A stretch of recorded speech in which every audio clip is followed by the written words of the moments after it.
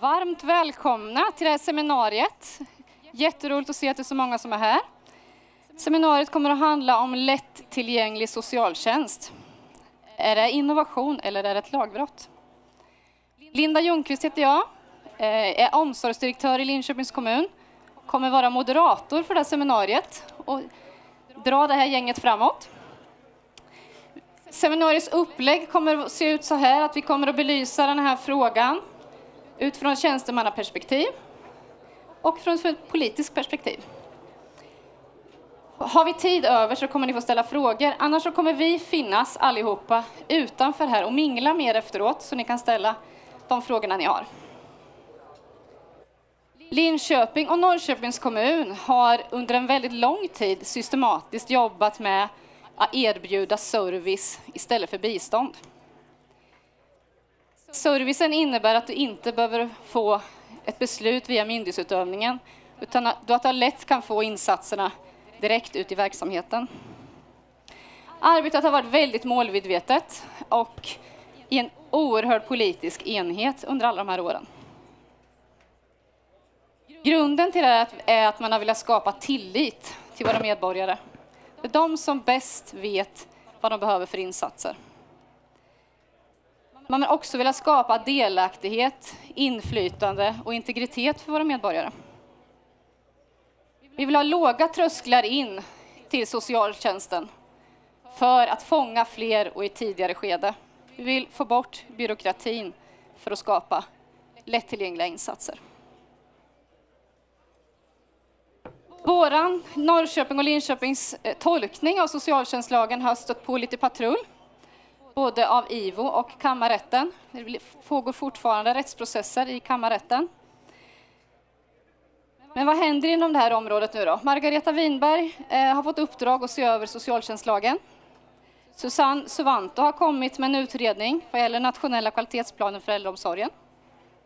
Kent Lövgren har precis också lämnat ifrån sig en utredning som handlar om förenklat beslutsfattande och särskilt boendeformer för äldre.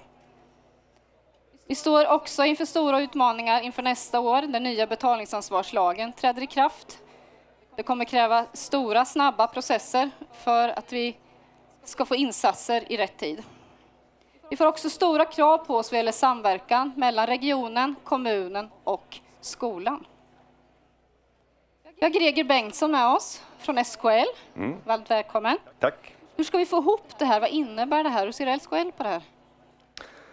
Eh, om vi börjar med den delen, hur ser SKL på frågan kring, eh, kring förenklad biståndsbedömning? Så positivt. Eh, alltså i det SKL tog ett yttrande på Kent Lövgrens eh, förslag, eller ja, socialdepartementets förslag, och eh, ställde sig bakom det. Alla partier utom ett eh, sa renodlat positivt till det och eh, i och med det så ligger ju också underförstått att det förslaget som, fann, som finns i eh, Susanne Suvantos utredning går inte tillräckligt, eh, går inte tillräckligt långt.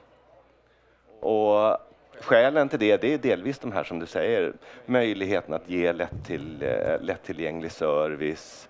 Det är ju ett sätt att driva innovation, även om det är mycket lagbrott som är, är, är idag. Men också att det här har ju prövats. I, idag så är det någonstans kring ett hundratal kommuner som använder sig av förenklad biståndsbedömning på lite olika sätt. Att man inte har biståndsbeslut eller att man har biståndsbeslut utan individuell prövning eller sådana här så kallade ram, rambeslut.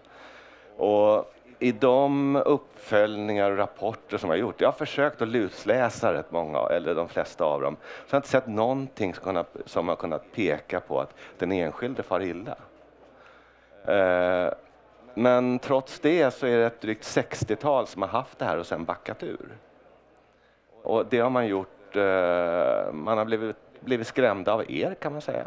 Det vill säga att lag, alltså oklarheter i lagstiftningen och risk för viten och sådana saker. Men också så finns det 15-16 eh, kommuner som har sagt att det här har blivit kostnadsdrivande, så här kan vi inte ha. Så därför är det viktigt att varje kommun kan bestämma själv om och hur man ska hantera de här frågorna. Du säger att det finns en risk för att det är kostnadsdrivande. Ja. Du utveckla det.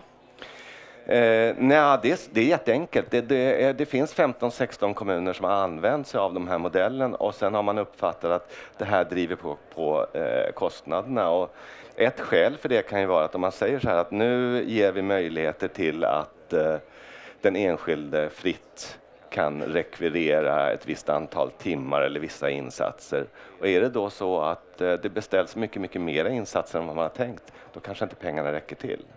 Och det här handlar ju sannolikt om, inte om man gör utan hur man hanterar det här. Men då är det trots allt ett antal kommuner som, som har sagt att ah, nej, det här är inte bra. Uppsala var en av dem som också var tidigt ute, som backade ur bland annat av eh, det, det skälet.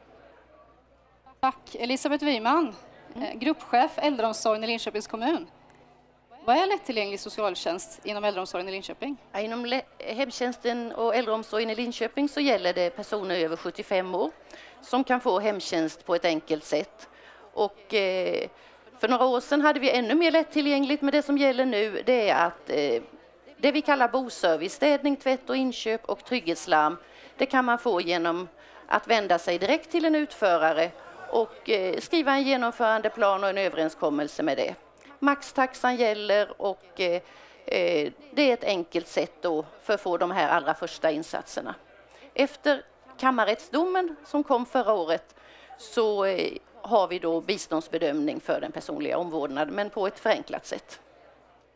Greger lyfter eh, rädslar om att det ska vara kostnadsdrivande. Hur ser det ut i Linköping? Det här, har det varit kostnadsdrivande? Nej, det har inte varit kostnadsdrivande och det är viktigt att komma ihåg att det här är ju inget eh, kortsiktigt projekt som har varit under kort tid utan förenklad handläggning och det här regelverket som jag beskrev, det har vi haft sedan 92.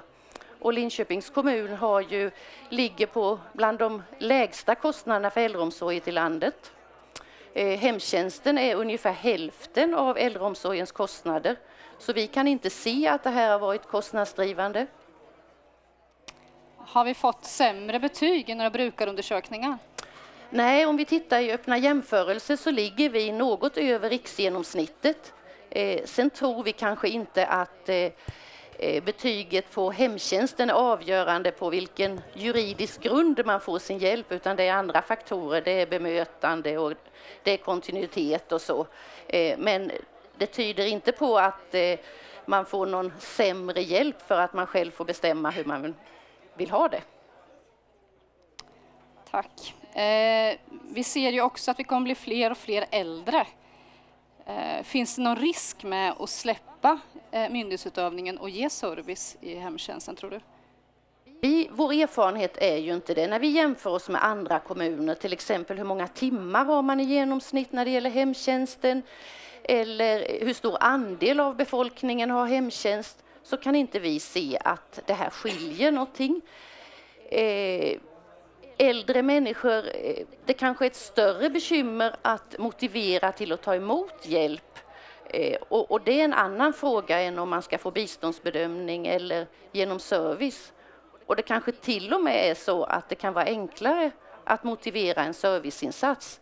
Du kan börja med den här hjälpen och om att man mer möter den enskilde än man går och blir utredd eh, för att få sin hjälp. Så vi har inte den erfarenheten att det att äldre människor efterfrågar mer hjälp än vad man behöver. Och det visar ju alla utredningar. Äldrecentrum har gjort stora utredningar kring detta och all erfarenhet tror jag är att man inte vill ha mer hjälp i sitt eget hem av främmande människor än man verkligen behöver. Vad är den största utmaningen nu för att möta framtidens äldreomsorg? Ja, den absolut största kanske är personalförsörjningen. Att, det, att få personal inom äldreomsorgen. Och då kan man ju fundera på den personal som behöver jobba i äldreomsorgen, eh, den högskoleutbildade personalen. Ska man jobba ute i verksamheten som arbetsledare och stöd till personalen eller ska man arbeta på en myndighet och göra handläggningsinsatser som är punktinsatser? Hur mycket resurser ska man lägga på handläggning i förhållande till uppföljning av att insatserna ledde till att behoven tillgodosetts eller att finnas direkt ute i verksamheten som chefer och personal där. Tack Elisabeth. Vi byter område. Vi hälsar Kerstin Bergman välkommen, samordnare på SKL. Det visar sig ju nu att eh, våra socialsekreterare eh, möter våra barn och familjer oerhört lite tid eh, när man ska göra en utredning och i det vanliga jobbet också. Hur kan det komma sig? Vad är det som gör att vi träffar de som behöver vår hjälp så lite tid? Ja, nu gäller ju det här barnområdet då som du refererar till och Cecilia Greve har gjort en kartläggning där. Men jag vill börja med att säga att det här är ett fenomen som inte bara gäller barn och ungdomsvården utan det är ett fenomen vi har i hela samhället. Lärare hinner inte träffa sina elever, poliser hinner inte träffa medborgarna och så vidare.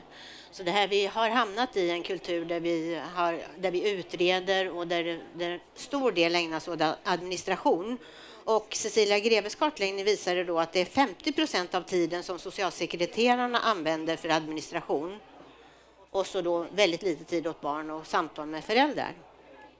Men eh, vad, vad, vi kan, vad vi kan göra och som vi gör på SKL det är att vi stödjer våra medlemmar att hitta på lösningar då, till exempel att man har i många kommuner nu anställt administratörer som avlastning, att man har sett att socialsekreterarna gör saker som de inte behöver göra.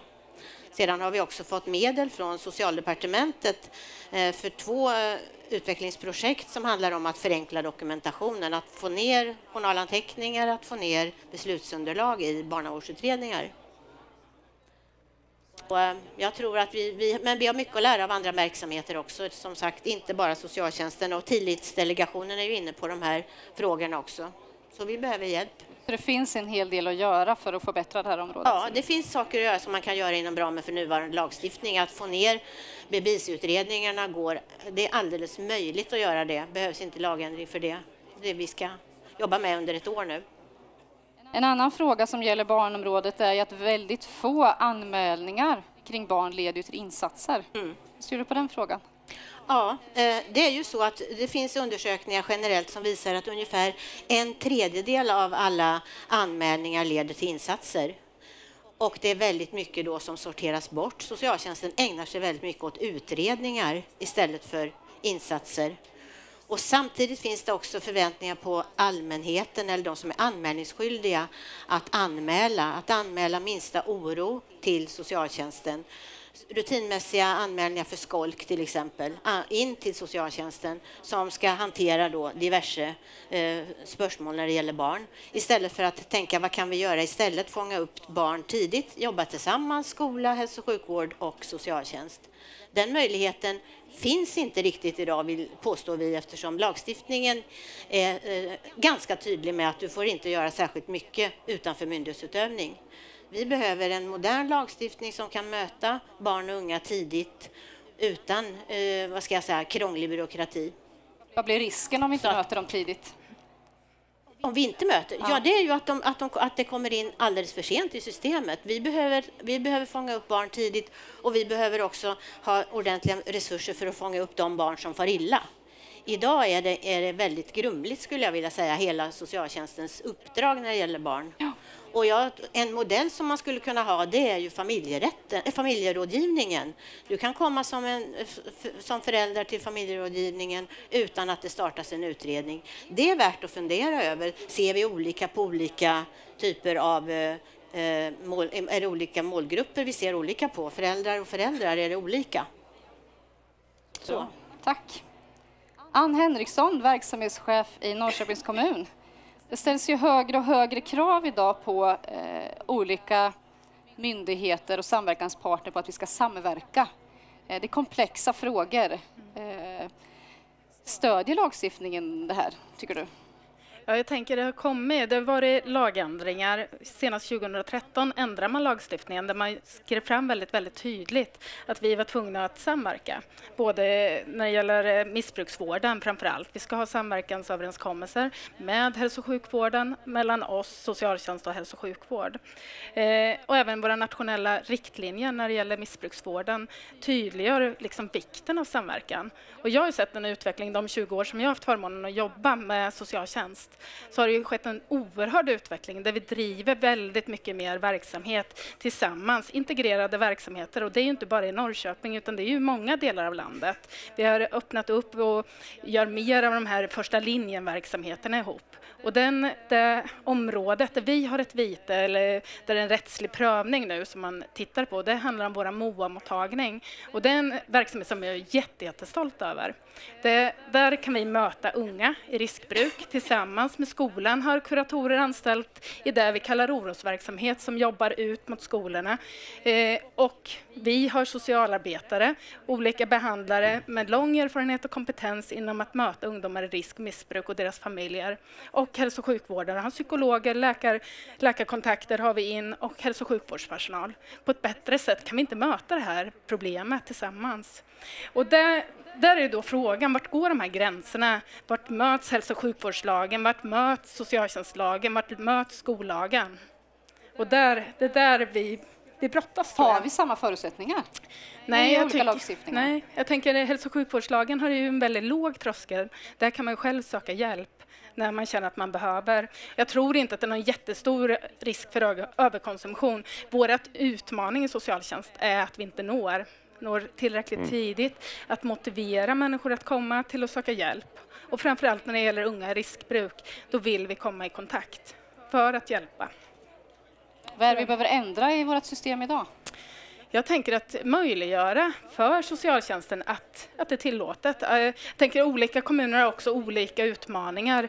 Och, och här har vi ju lagt oss på den nivån att vi vill möta upp tidigt, vi vill ha de resurserna här för vi vet att det är viktigt. En ungdom i utanförskap kostar oerhörda, oerhört mycket pengar.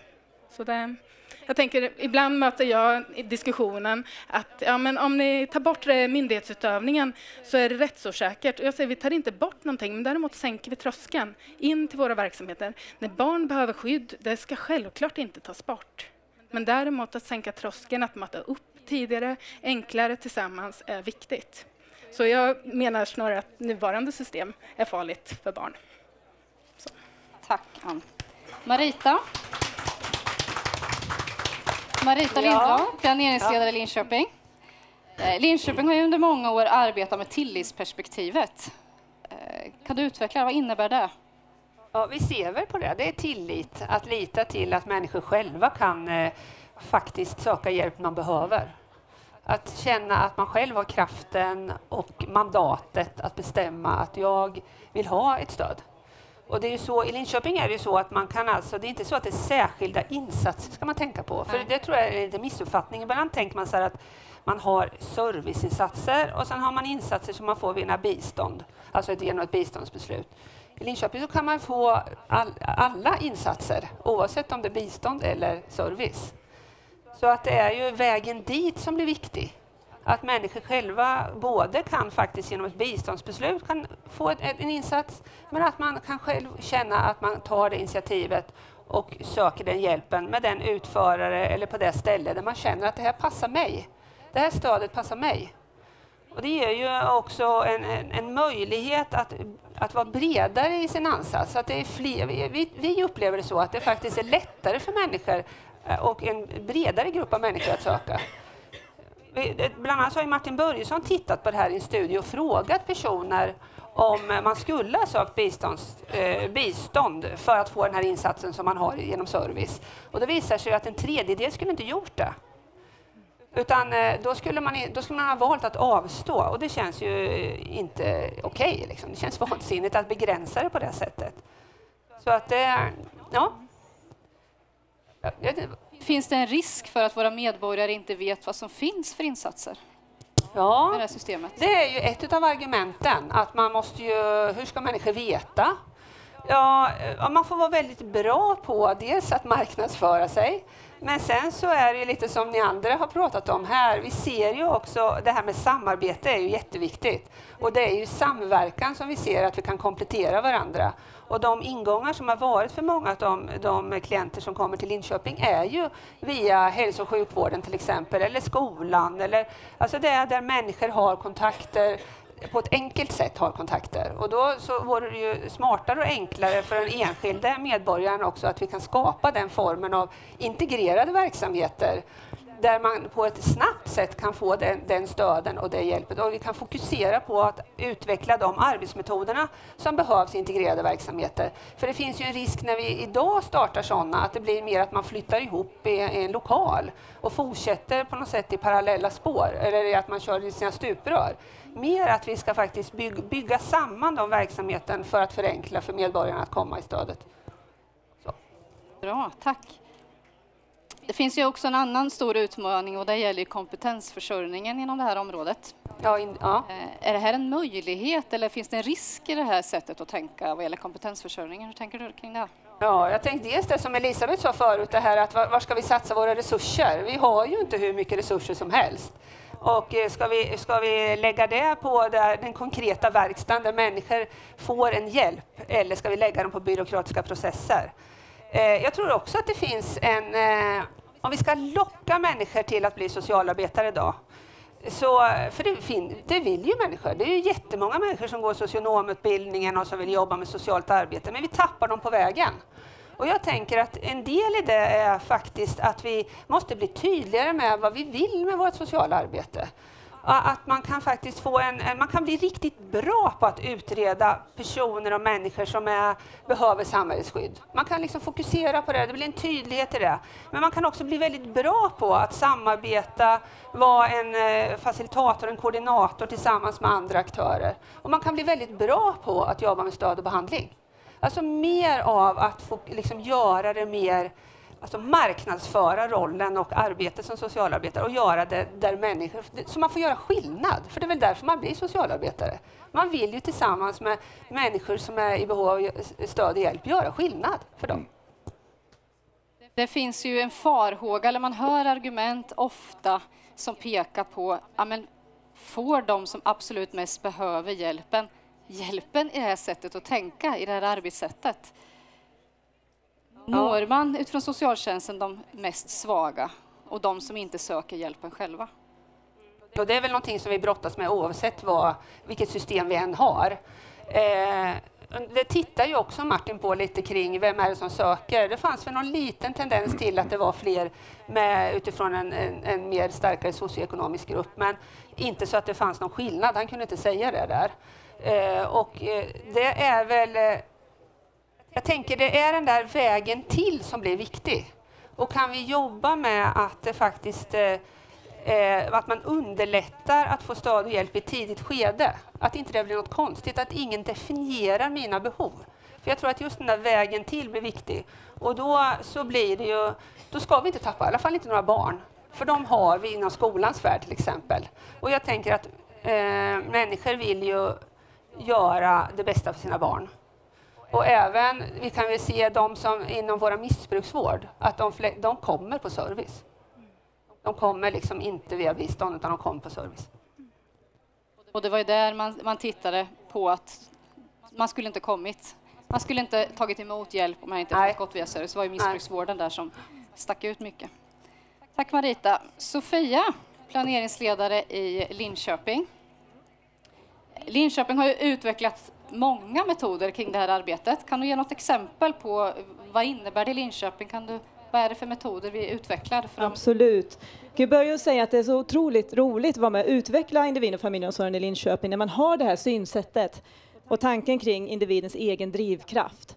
Och just nu så jobbar vi på det här som eh, mina kollegor här har pratat om innan, att öka tillgängligheten, inte bara genom att vi får eh, insats utan biståndsbeslut, men också att hitta ut och göra det socialtjänsten ska finnas i ditt lokalsamhälle. Så vi håller på att jobba med att flytta ut delar av eh, utförarsidan inom individ och familjeomsorgen till några olika stadsdelar och utveckla vårt eh, sociala områdesarbete. Och vi ser ju att vi måste ju bygga där människor bor tillsammans med de som också verkar i lokalsamhället. Vi måste förbättra samverkan med civilsamhället i stort, föreningslivet, näringslivet och inte minst då skola och eh, eh hälsovård. Eh, så det är det vi jobbar på just nu i två områden. Vad har det med myndighetsutövningen att göra? Hur skulle vi kunna underlätta den i det sociala ja. vi, vi tror ju på att myndighetssidan ska utreda för de barn som behöver verkligen ha skydd. Vi har lyssnat på flera olika kommuner här idag också som säger att men, det är så mycket inom socialtjänst som inte borde vara där.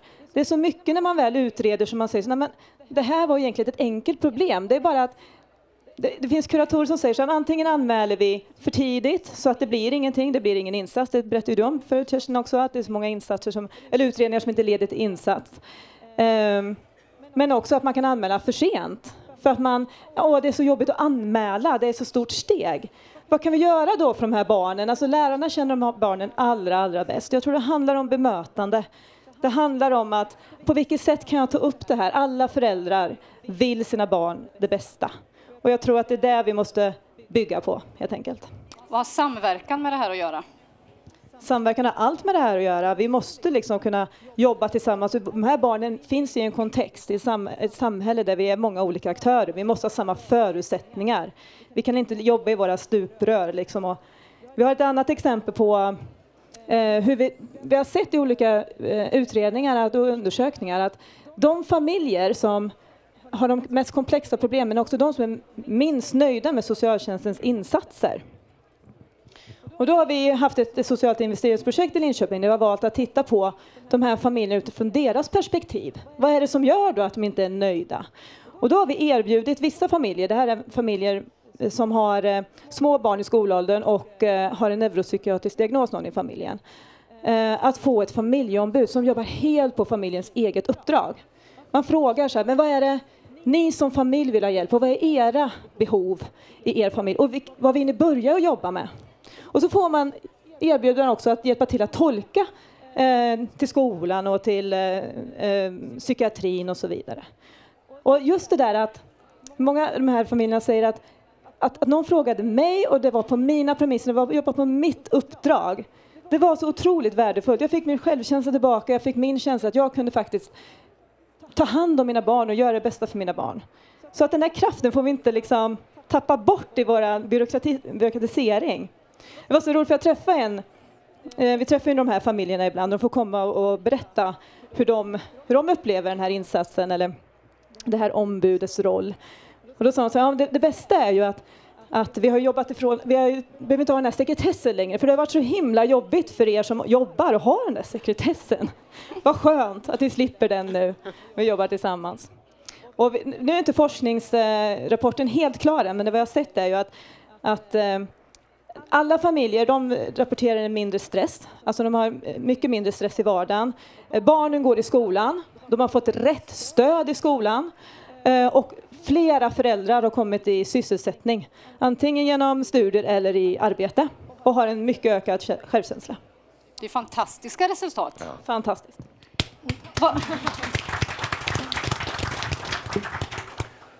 Stort tack! Jag välkomnar upp politiken. Oss på sidan.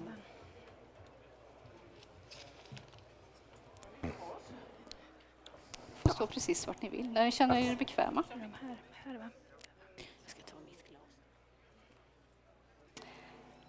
Anna-Lena Sörensson, vice ordförande i socialutskottet. Mikael Sandfridsson, kommunalråd och ordförande i äldrenämnden i Linköping. Nu har vi fått hört jättemycket reflektioner, vi har fått hört jättemycket goda exempel. Hur tänker ni kring den här frågan? Alena? Ja, till att börja med kan man ju konstatera att, att vi har ju så länge pratat om det här med en förenklad biståndsbedömning och Linköpingsmodellen eh, och arbetat med den på många olika nivåer. Eh, inte minst när det gäller äldreomsorgen.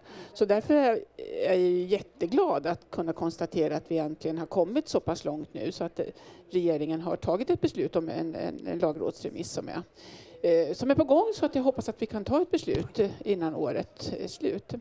Eh, eh, och eh, vad det gäller utvecklingen i övrigt så, så finns det nu direktiven till Margareta Winberg också för att arbeta vidare med det i, i, i socialtjänstlagen och revideringen av den. Så det, det känns väldigt, väldigt bra tycker jag.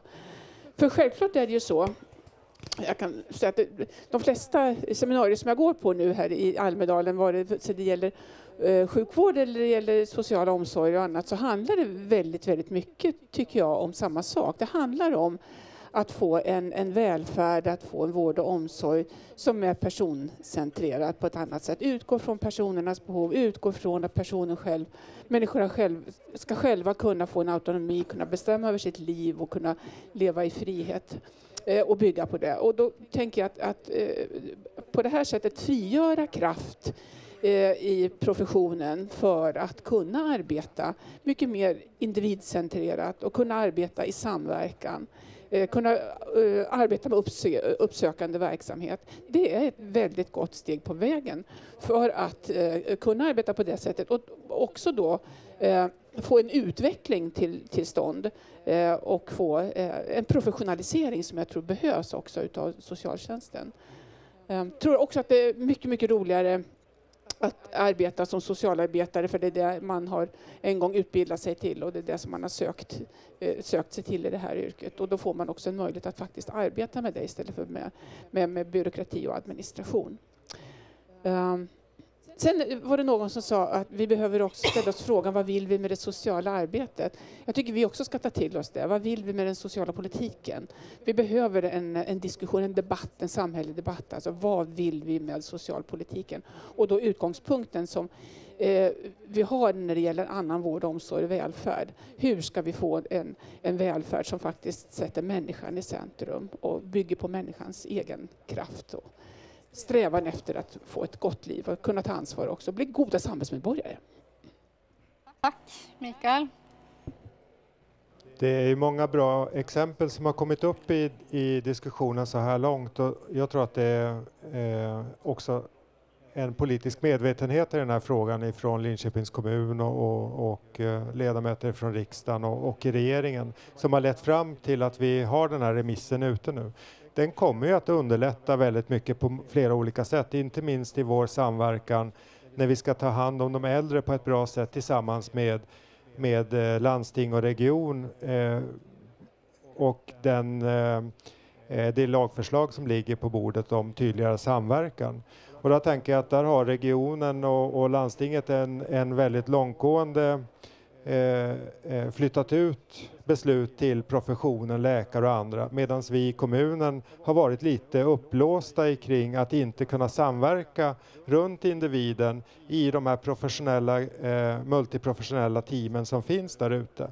Det här remissen underlättar ju det arbetet och sätter ju också individen i fokus på ett mycket tydligare sätt. Det tycker jag, tycker jag är väldigt viktigt att vi har med oss. Sen hör ju vi också väldigt mycket ifrån pensionärsorganisationer, Eh, äldre själva, anhöriga om vikten att få vara med och vara delaktiga i, i det här arbetet med att sätta sin egen omsorgsplan och sin, sina egna insatser och att det också är, eh, bidrar till att man faktiskt eh, kommer igång tidigt med, med hemtjänst till exempel. Så samverkan är ju supercentral i, i det här arbetet och jag tror att med, med hjälp av det här eh, remissförslaget och den här möjligheten som öppnas upp nu så kommer vi också kunna i högre utsträckning fokusera eh, resurserna och arbetet och våra tankar och funderingar när vi vill utveckla socialtjänsten på ett sådant sätt så att vi lägger det på verksamheten istället för myndighetsutövning. Vi myndighetsförklarar eh, vår profession och våra äldre på ett tydligt sätt och säger att ni har den kompetens som behövs för att, för att sköta de här uppgifterna och göra det här jobbet. Men vi får också möjligheten att eh, på ett ännu bättre sätt och tydligare sätt jobba med uppföljning av insatserna. Får den äldre rätt insatser, leder insatsen till, till rätt önskat resultat och så vidare. Och det, det tror jag att, att man behöver ibland vara där ute nära den äldre vardagligen för att också kunna göra de bedömningarna. Och det tänker jag att det öppnar ju det här regelverket upp för nu på ett, på ett nytt sätt. Och det ska vi ta vara på, eh, de här möjligheterna som följer med, med lagförslaget. Sen ser vi fram emot att, eh, precis som Anna-Lena säger, att, att föra en bredare diskussion kring hela det sociala området för att se hur vi kan ännu, ännu tydligare stärka kvaliteten i, i omsorgen och omhändertagandet i olika situationer. Men också eh, faktiskt eh, skapa förutsättningar för att att låta profession eh, också utveckla, vara med och driva utvecklingen, insatser och, och eh, kvaliteten i, i omsorgen och i socialtjänsten. Jag hör att det finns en önskan om att få gå tillbaka till det arbetssätt och det utvecklingsarbete som ändå Linköpings kommun har drivit ganska hårt under många år, där vi har fått backa en hel del utifrån eh, tillsynskrav och eh, dom, domar som har kommit. Tänker du kring det Mikael, få gå tillbaka? Jag tänker att vi ska gå framåt. Eh, det är, alltid, det är alltid bra att titta bakåt och eh, tydliggöra de erfarenheter man har. Men det här eh, underlaget som nu ligger, ligger ute är ju ändå trots allt lite mer långtgående än det vi jobbade i tidigare. Så det skapar ju faktiskt eh, eh ännu bättre förutsättningar och möjligheter att ta ytterligare några steg. Så att jag tänker att, eh, att vi blickar framåt nu och fortsätter att utveckla hela det sociala området Eh, med utgångspunkt ifrån den första remissen och, och sen eh, med utgångspunkt ifrån den fortsatta diskussionen kring den samlade eh, socialtjänstlagstiftningen. Vi kommer knyta ihop det här eh, seminariet med att ni var och en jättekort bara ska få svara på en fråga. Det blir väldigt kort, gärna en mening, max två. Vad blir konsekvenserna när innovation blir ett lagbrott? Elisabeth börjar att det finns risk att utvecklingen hämmas, att ingen vågar prova nya sätt att tillmötesgå behoven. Ja, och jag tänker det skapar rädsla i att göra fel och i slutändan så blir det också farligt för, för våra barn att vi har ett system där vi inte blir tillgängliga. Nej, alltså innovation borde naturligtvis vara en del av styrningen mot eh, en god eh, omsorg, den som vi vill ha. Att, jag, jag, jag, kort, men jag tänker också bara tillägga att jag tror att det här, är, det här är sättet vi måste gå för att vi ska få den där utvecklade, bra omsorgen eh, som eh, de här människorna vill ha. Och den, den, utvecklas ju tillsammans mellan brukaren och den som ska utföra det. Och det är den professionalismen vi måste tror jag, utveckla. Och det, eh, det tror jag är ett mycket bättre sätt att gå än med rättighetslagstiftning som börjar komma på tapeten, där saker och ting ska avgöras i domstolar. Det tror jag inte är en bra väg framåt. Tack. Mikael? Det är mötet mellan personalen och den äldre som allting avgörs. Och eh, med hjälp av innovation så får vi en möjlighet att ta tillvara på all den kraft och energi och kunskap inte minst som finns där ute. Därför är innovation eh, jätteviktigt och eh, för mycket lagstiftning hämmar, hämmar det här området helt enkelt. Ja, ja. Nej, men roligt att jobba. Att få faktiskt, eh, utifrån att jag också har utbildat mig till någonting som jag brinner för, ja, få vara med i det. Det känner jag att det finns större förutsättningar i ett innovativt arbete. Tack. Sofia? Nästa, för ta den andra mikrofonen. Ja, jag hänger på Mikael här och säger det att för detaljerad lagstiftning gör att vi hänger inte med när vi måste möta de här samhällsutmaningarna som kommer. Och det, det går fort och vi måste ha möjlighet att hänga med, som sagt. Och jag tänker att innovation i det ligger också att allting går inte spikrakt rakt framåt utan innovation handlar också att vi stöter på patrull ibland och vi får ta det som en utmaning och se vad var det nu som var fel och hur kan vi liksom gå framåt med bättre kraft. Absolut. Utvecklingsarbete handlar väldigt mycket om tålamod. Tack. Greger? Jag tycker det är ganska självklart att det blir på det här sättet. Ska man göra stora förändringar och stötas mot systemet och vill få förändrad lagstiftning, då måste man göra på det här sättet. Då måste man vara modig och, eh, eh, och pröva. Och då ställs det också krav på dem som driver frågan och testar det här, att man kan visa, nej den enskilde far inte illa, det blir faktiskt bättre. Och då leder det också till ny lagstiftning. Jag tror i annat fall så kommer vi bara hålla på och pilla omkring lite grann och så fortsätter det i samma banor som tidigare. Så jag är positiv till att innovation innebär att man liksom testar eh, gränserna för lagstiftning. Bra, tack. Jag ska försöka runda in där ni har sagt eh, för några slutord. Vi vill använda våra resurser rätt. Vi vill minska administrationen, har jag hört att vi har sagt. Vi vill friställa resurser till uppföljning. Vi vill förskjuta rättssäkerhet från utredning till uppföljning för att säkerställa att individen verkligen får sitt behov tillgodosett. Vi vill förenkla samverkan med våra andra samverkanspartner, exempelvis regionen och skolan. Vi vill skapa en egenmakt och en tillit till den enskilda, för det är faktiskt den som vet bäst vad den behöver.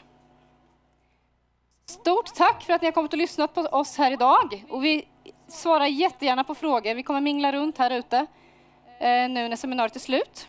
Så stort tack för er medverkan också.